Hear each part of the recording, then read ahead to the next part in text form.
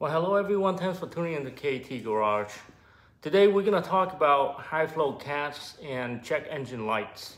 Now, for the, those of you that uh, that are thinking about getting high flow cats and, and, and you're afraid of or, or worry about getting a check engine light or it's affecting your, uh, your emissions, uh, in this video, I'm, I'm going to try to address that, uh, that, that issue.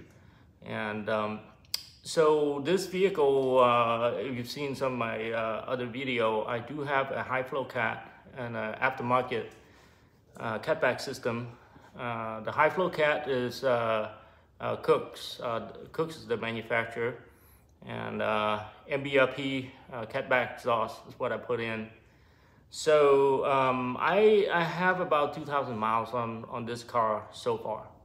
And at about 1800 miles or something like that, the check engine light did come on, and it's uh, it, it, says something about uh, the uh, uh, the emissions. Uh, I forgot what the, the code was, but basically the O2 sensor is sensing that um, the uh, the catalytic converter is not doing its job, basically.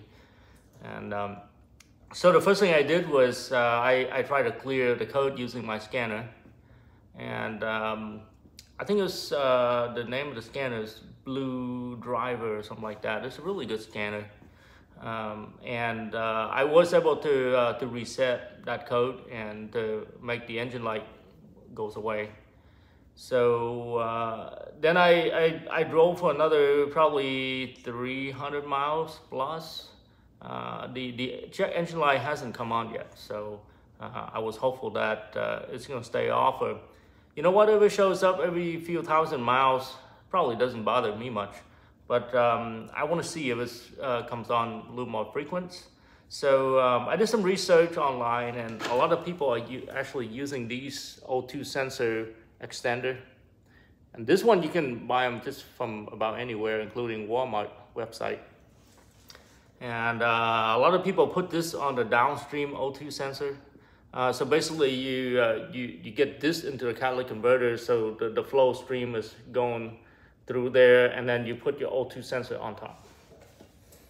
And uh, the, just the real one, that's the one that, that reading the, the O2 uh, levels and then it compares to the front one.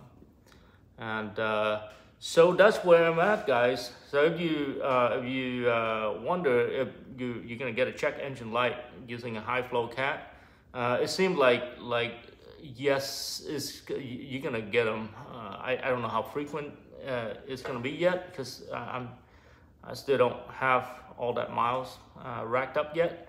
Uh, now another issue that I ran across is that um, I, I, had this car about a year now, and uh, so while I was at it, I used a scanner to to scan for smog to see if it was emission ready, and um, uh, at the time when, when I did the scan, it's almost 2,000 miles and it says it's not ready.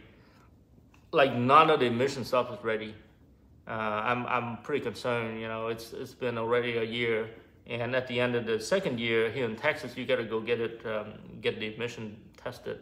So it's going to fail emission if um, none of the stuff is ready. So I really don't know what's going on there.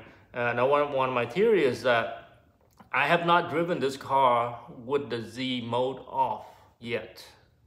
And I, I think that's that's probably why I, th I think the system is looking for like all the different driving modes, you know. So it actually kick into the four cylinder and then measuring all those things.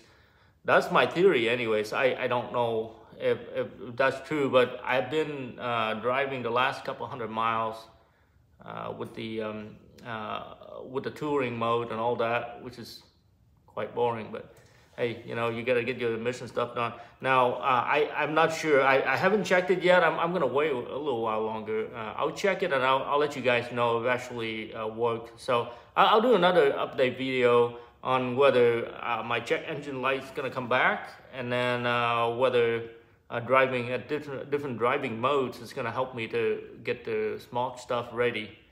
So um, that's where we at, guys. I just want to give you uh, some information on on check engine lights. I, I, know a lot of you are concerned about that. I was the same way when I tried to get my uh, my uh, high flow cat, so I was very concerned that uh, I'm going to get those. Uh, but it seems like you know it's it's only came on like once so far. So I'm I'm just keep my finger crossed. If it's doing again, this thing is gonna uh, come on. Now uh, it's quite a hassle to get this thing on because uh, the downstream uh, O2 sensor is actually tucked behind the um, the air filter uh, box. So you got to pull the box to to get to the wiring harness where you can uh, actually pop off the O2 sensor uh, before you can actually rotate it and, and turn it on to, to get it off the car and to get this adapter on. Now you probably can just try to twist it and keep the uh, wire harness plug in at the back of the box, but I wouldn't suggest that you're gonna be twisting the wires all the way through trying to get it out. Probably not a good thing. So you're gonna do it, might as well do it right. So that's, uh, that's my plan B. If it's gonna happen again more frequent, uh, this thing's gonna go on. So anyway, that's it guys. Appreciate you, uh, you guys tuning in to KT Garage.